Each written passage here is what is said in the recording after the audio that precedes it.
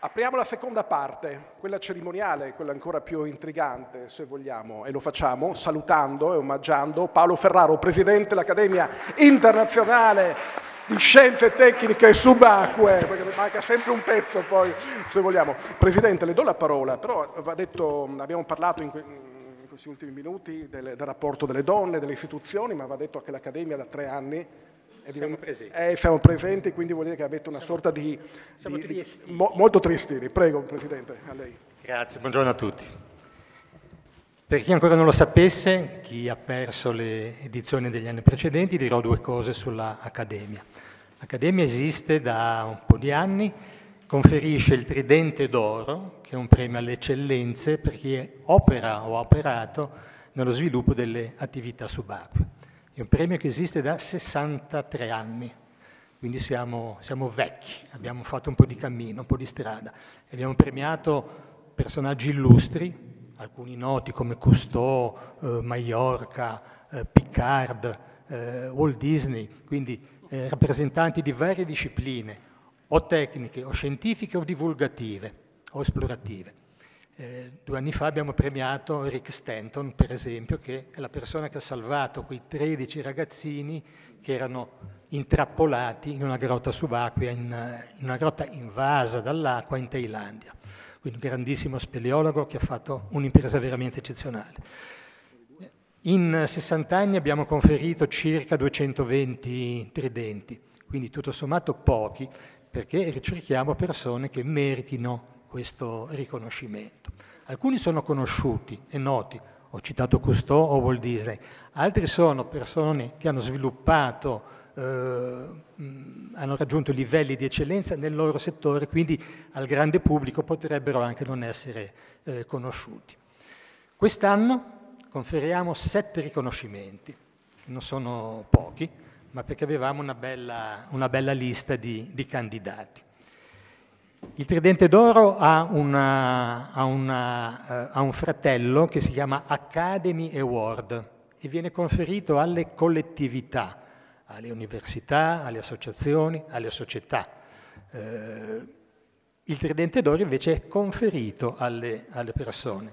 Tra gli Academy Award più celebri del passato uh, possiamo citare la Micoperi, che è un'impresa che ha sollevato e rimesso in navigazione il relitto della Costa Concordia. Quest'anno l'Academy Award lo conferiamo alla Suex, che è un'eccellenza italiana che ha sviluppato in termini volgari si chiamano uh, scooter subacquei. Tecnicamente sono dei veicoli di trascinamento che sono stati essenziali per sviluppare le tecnologie più recenti, più sofisticate di eh, ricerca nelle grotte, eh, sui relitti, quindi è un veicolo che consente di percorrere grandi, grandi distanze eh, senza pinneggiare, senza notare. Quindi sono stati essenziali per certe attività.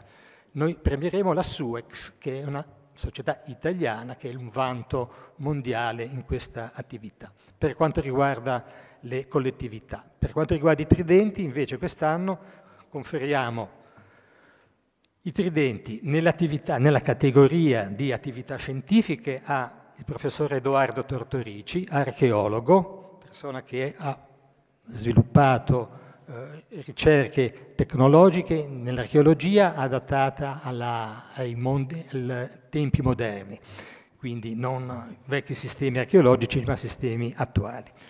Premieremo un biologo spagnolo, José García March, è uno dei biologi, dei biologi, che più vive la realtà eh, non del terreno ma dell'acqua, perché ha fatto immersioni di ricerca in tutto il mondo. Si è dedicato particolarmente a un fenomeno mortale, inspiegabile, che è la scomparsa della pinna nobilis. La pinna nobilis è quel grande, quella grande nacchera, 50-60 cm, che viveva piantata sul fondo del mare stanno morendo tutte. Non si sa bene perché, i biologi stanno cercando di appurare le, le ragioni e José Garcia Marce è uno di costoro. Poi premieremo François Serrano. François Serrano è un ricercatore francese che da anni vive in simbiosi con una famiglia di capodogli. Quindi conosce tutti gli accoppiamenti, tutte le parentele, tutti i cuccioli che questa comunità ha sviluppato. Quindi lui passa almeno sei mesi alle Azzorre per studiare questa, eh, questa comunità.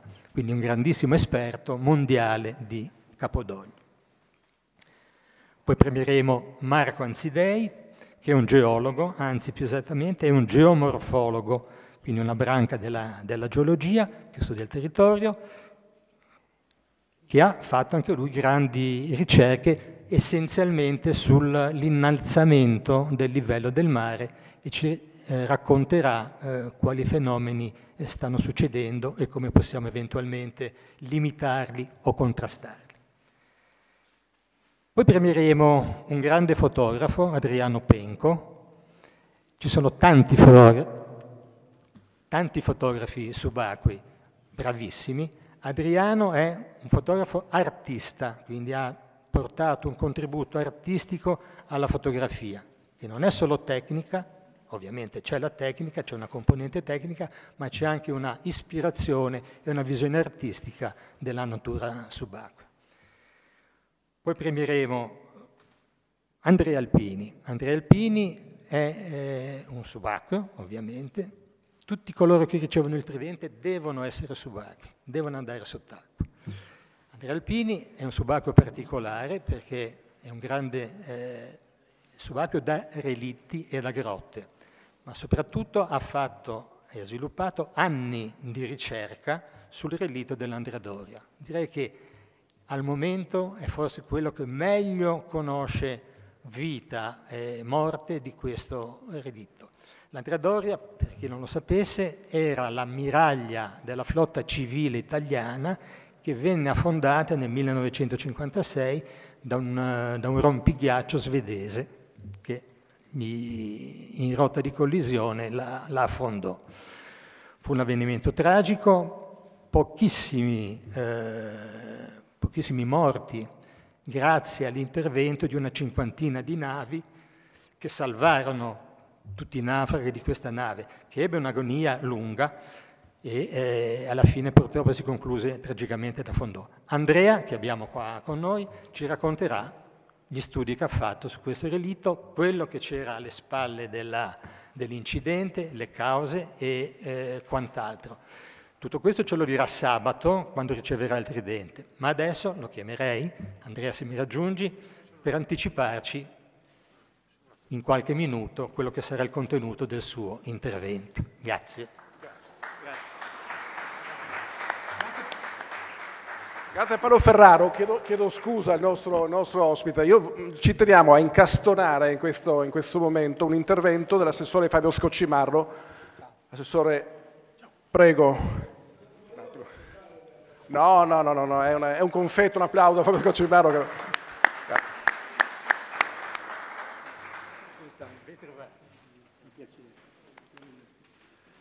Scusate, non volevo stravolgere la scaletta, ma sono appena uscito dalla giunta e sto rientrando con i miei colleghi in un'altra riunione, quindi scusate e vi ringrazio.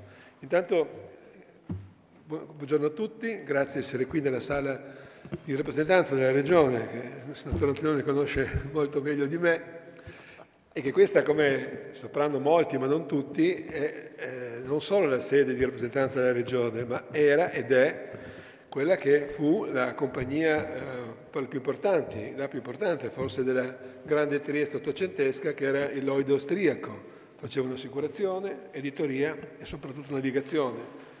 Quindi siamo immersi nella storia qui della nostra città. Difatti qualcuno si chiede perché abbiamo l'imperatore e l'imperatrice, perché poi per un periodo, ovviamente perché erano loro i regnanti all'epoca, anni 500 e più bassa anni di cui Trieste ebbe una dedizione eh, di, eh, con l'Austria, infatti tanti parlano di dominio ma era una dedizione. Però poi dopo la prima guerra mondiale vennero spostati nella saletta in fondo e venne messo il re e la regina. Poi nel 1954, quando è ritornata all'Italia, hanno fatto nuovamente il trasloco e hanno riportato i regnanti che avevano appunto costruito questo palazzo, e non loro, insomma, loro, sotto il loro regno, e quindi la storia è, è ricollocata al posto che merita, perché molto spesso la storia non la conosciamo bene. E mi dispiace che non ci sia qui quest'anno il comandante del Consumbi che ho apprezzato tantissimo l'anno scorso eh, e che ha ricordato proprio in, da questo palco quello che era uno dei, a proposito di storia, della subacquea italiana, uno dei grandi eroi che io conobbi per sbaglio all'università nell'atrio, quello è il bidello dell'università no? il bidello Spartaco Skergat. No? E cosa ha fatto Spartaco Skergat? Un'azione eroica durante la guerra, quindi un eroe, e quindi ha fondato le importantissime navi inglesi nel porto di Alessandria, forzandole in una maniera incredibile. Noi l'abbiamo messo in un gabbiotto all'università a fare il bidello, in America avrebbero fatto monumenti, film, serie televisive e quant'altro. Quindi questa è la nostra maniera di ricordare gli eroi, perché poi andiamo a vedere dei bei film di Totò e di Abbattantuono, ma l'esercito italiano e la marina e l'aviazione insomma, in guerra hanno fatto la loro parte come tutti gli eserciti. E quindi mi dispiace che non ci sia, l'abbiamo ricordato. Però se è giusto uh, avere la cultura del passato, noi guardiamo il futuro e il futuro è che noi oggi eh, abbiamo una città che eh, è proiettata appunto in questo e, e il porto e le attività marittime e lo sport e la subacquea e la vela.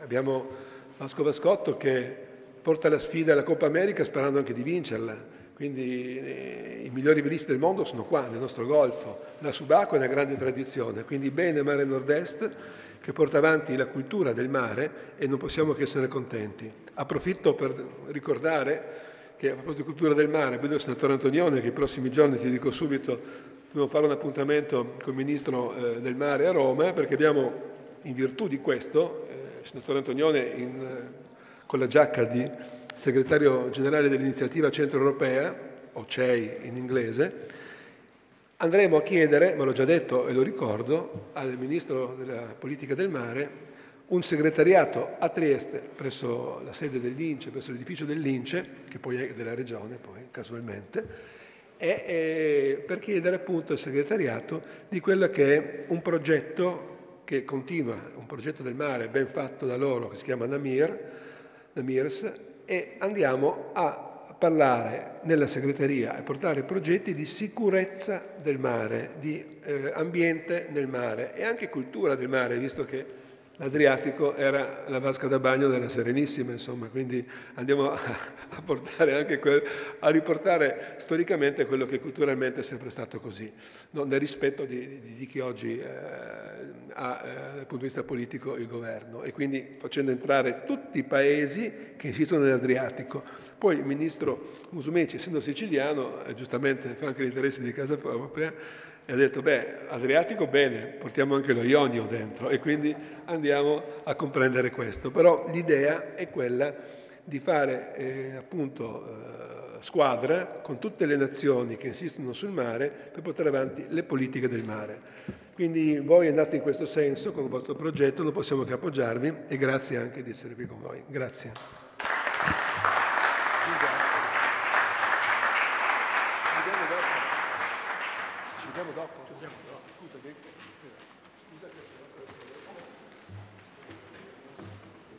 Scusate, per esigenze di, eh, di fotografie, chiamerei i, i, futuri tridenti a raggiungermi qua per una foto generale. Quindi Edoardo Tortorici, José Garcia Marcia, François Serranò, Marco Anzidei, Adriano Penco, Andrea Alpini è già qua.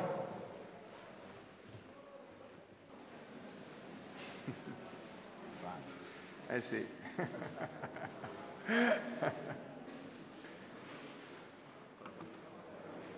Bene, tocca ad Andrea che ci racconterà qualcosa su cos'era l'Andrea Doria, cosa ha fatto e, e perché ha fondata. È un anticipo, è un assaggio di quello che dirà molto più diffusamente sabato alle, alle 16.45. Alle 16.45 vi invito a venire perché è molto molto molto interessante.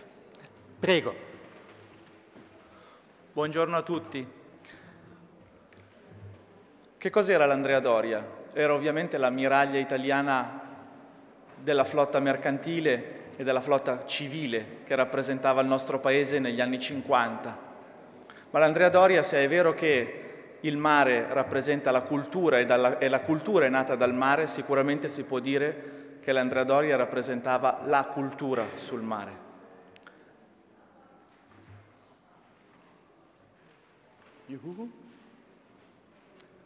L'Andrea Doria era la nave più bella che l'Italia abbia mai varato, rappresentava effettivamente il trade union fra il mondo antico, quindi l'Italia, e il mondo nuovo, gli Stati Uniti d'America. Grazie. L'anno scorso è intercorso il settantesimo anniversario dell'entrata in servizio della nave e questo è stato il primo dei due eventi che mi ha spinto a organizzare nuovamente una spedizione in America per dare un senso e celebrare la grandezza di questa importante nave che l'Italia ha varato molti anni addietro. Era una nave che rappresentava cultura perché?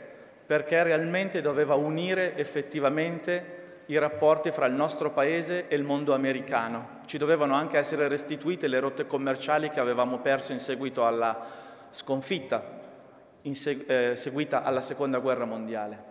Era la nave più bella e rappresentava a tutti gli effetti il nostro paese. Era il vero Made in Italy, quello che oggi chiameremmo in questi termini galleggiante, dal punto di vista della cultura, degli interni, delle, dei macchinari, della raffinatezza con cui era progettata. I migliori architetti, i designer, tutti avevano contribuito. Quando fu varata, anche chi non aveva funzioni importanti all'interno dell'azienda quasi aveva una lacrima sul viso, perché effettivamente la nave aveva preso vita e usciva dai cantieri dell'Ansaldo verso un mondo. Però affonda. E forse questa, che potrebbe essere chiaramente vista come una disgrazia, soprattutto dal punto di vista economico e anche umano, poiché ci sono state delle vittime, credo che in una chiave più contemporanea possa essere rivista quasi come un avvenimento che l'ha resa in realtà eterna. Purtroppo il futuro delle navi spesso è legato a essere depositate in cantieri, a essere smantellate, ma certe volte quando le navi affondano non finiscono di vivere, restano nell'oceano in questo caso, ma restano manufatti vivi per sempre. E forse, e lo dico tra virgolette, è stata una fortuna che l'Andria Doria sia affondata, perché il fatto di essere affondata l'ha sottratta sicuramente ai nostri occhi, ma magari anche all'oblio che l'avrebbe, eh, per così dire, accompagnata nei decenni a venire. Invece affondando è diventato un mito. E come dico sempre, i miti non muoiono, si trasformano e vivono per sempre. E l'Andrea Doria è così. L'Andrea Doria oggi rappresenta l'Italia nel mondo, anche se sta in fondo al mare. Quando ho lavorato con gli americani ho cercato di capire perché l'Andrea Doria fosse importante per loro, perché è un mito. E la risposta per me è stata la più semplice ma la più bella in assoluto. Hanno usato tre semplici parole, perché è italiana. E questo rappresenta effettivamente l'orgoglio di una nazione che va al di là dei propri confini. Qual è stato il mio lavoro? Non certo solo quello di immergermi, ma di studiare effettivamente che cos'era l'Andrea Doria. E se è vero che in passato ci sono state spedizioni subacquee che hanno guardato al passato, il mio scopo era guardare al futuro, perché gli occhi, come diceva un mio vecchio professore di università, ce li abbiamo fatti per guardare avanti. E allora era giusto raccontare il futuro di questa nave che un po' per volta sta scomparendo dal fondo dell'Oceano Atlantico. Il 27 luglio del 1956 sul Corriere della Sera Dino Buzzati scrive un articolo che intitola Un lembo di patria e forse quale migliore anche territorio per ricordare questo titolo come la città di Trieste che effettivamente è l'ultimo lembo di patria, l'ultimo lembo di Italia rivolta verso le nuove culture, verso un nuovo mondo. Da quell'articolo è nata una spedizione subacquea che è stata intitolata esattamente come Dino Buzzati aveva intitolato il suo articolo. E così è nato un lavoro che per me è durato tre anni all'interno del, degli archivi della Fondazione Ansaldo a Genova, che sono ovviamente i cantieri navali che l'avevano varata e che oggi custodiscono tutto il passato dell'Andrea Doria, ma non hanno niente di ciò che riguarda il futuro e da qui è nata la collaborazione. Immergersi ovviamente è quello che faccio per professione, ma immergersi è stato in realtà il senso di dover raccontare ciò che in archivio avevo trovato L'immersione non era legata ad un fattore egoistico, cioè di ottenere qualche cosa dal relitto, ma più che altro di portare qualcosa al relitto. Certo di non andare a cercare indagini o fare indagini per così dire assicurative, non fosse altro che il punto in cui la Stockholm, la nave svedese, ha imbattuto la nostra ammiraglia, oggi è nascosto alla nostra vista. Eppure ci sono molte immersioni che possono essere fatte e così ho cercato di raccontare tutto quello che è stato fatto. Ma io credo che appunto proprio perché dobbiamo guardare al futuro, l'ultima immersione che è stata fatta in America lo scorso anno è stata condotta insieme all'equipaggio americano con cui ho collaborato per immergersi sulla prua della Stockholm e questa chiaramente è il lato B, la vicenda oscura di tutta la tragedia che ha portato all'affondamento dell'ammiraglia italiana. Posso dire con orgoglio che siamo stati i primi italiani, ma al di là di questo il senso di andare a vedere i resti della prua della Stockholm ha avuto un senso anche storico, perché vuol dire identificare delle coordinate che oggi non sono ancora conosciute. Significa andare a vedere qualche cosa e conoscere ciò che altrimenti era semplicemente supposto. Che cosa era supposta? Tutta la vicenda che ovviamente è stata trasmessa attraverso i diversi atti di processo, che siano americani, italiani o svedesi. Quindi andare sott'acqua alcune volte ha il senso di restituire una parte di storia che altrimenti non potrebbe essere conosciuta. E poi infine un gesto, un gesto che per me è stato fondamentale. Vi dicevo, il primo anniversario era il settantesimo dell'entrata in servizio, ma il secondo per chi va sott'acqua ha un, un importante valore. L'anno scorso sono ricorsi 55 anni della prima vera spedizione italiana sul relitto dell'Andrea Doria. Allora a condurla erano stati sicuramente un team di italiani con la presenza anche di un subacqueo americano. Il subacqueo americano era il Giddings, colui che poi per esempio ha aiutato James Cameron nelle riprese del Titanic, quindi parliamo di persone di un lustro enorme. Ma per l'Italia chi vi erano? Il capo spedizione era Bruno Evalati, che ha, ha girato un documentario sull'Andrea Doria, premiato tra l'altro con il Tridente d'Oro, e Stefano Carletti, Stefano Carletti, subacqueo italiano, conosciuto in tutto il mondo poiché nel 1968 ha scritto un libro, Andrea Doria meno 74, anche lui premiato con il tridente d'oro. Quindi riportare delle eccellenze. E così se nella fotografia di destra vedete il senso della loro spedizione, cioè pulire le lettere dell'Andrea Doria, per me nel lavoro che ho, svolto l'anno scorso sul fondo dell'Oceano Atlantico c'è stato un vero senso di omaggio agli italiani che erano venuti prima di noi e un po' anche in realtà andare a spolverare i sepolcri, quindi andare a spazzolare le lettere dell'Andrea Doria. E vi è stata questa casuale ma bellissima coincidenza. Carletti, lo vedete, stava spazzolando il nome Andrea e in realtà a me, un po' fortuitamente, è capitato di dover spazzolare le lettere Doria.